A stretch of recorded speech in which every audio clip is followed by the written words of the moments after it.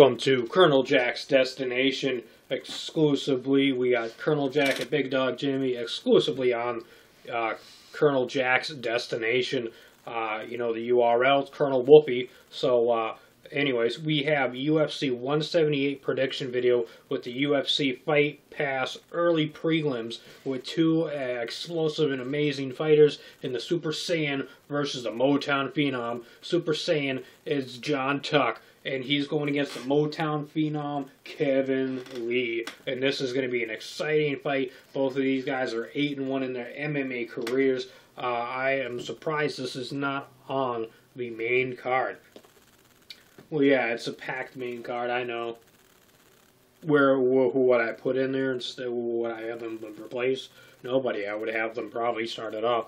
But hey, uh, I got the Fight Pass, so me and Big Dog Jimmy will be watching it on exclusively on the Fight Pass. It is well worth the money, in my opinion. The Fight Pass always has awesome fights on it.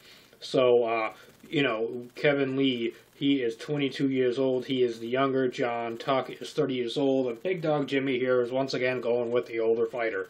Uh, I'm picking Kevin Lee because uh, I'm from the Motown area. I uh, I don't live out there right now, but when I grew up as a youngster, I grew up out of the uh, Detroit, Michigan area. So I always go with the hometown hero, with my hometown boys.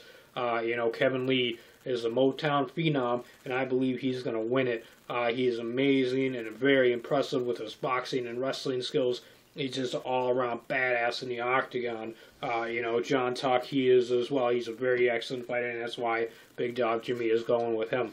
He uh, believes he has uh, every aspect of the, and the MMA style, uh, you know, mixed martial arts all covered. So he thinks that Jon, that um, Kevin Lee is going to have a hard time combating against him. But um, you know, I think he's gonna. I think Kevin Lee's gonna win by submission over Jon Tuck.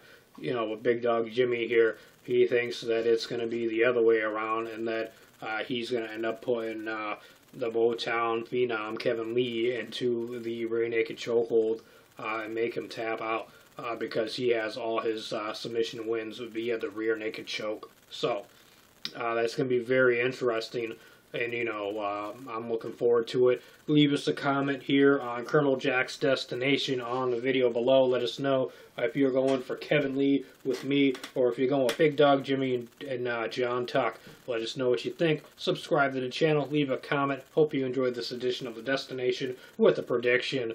And there you have it.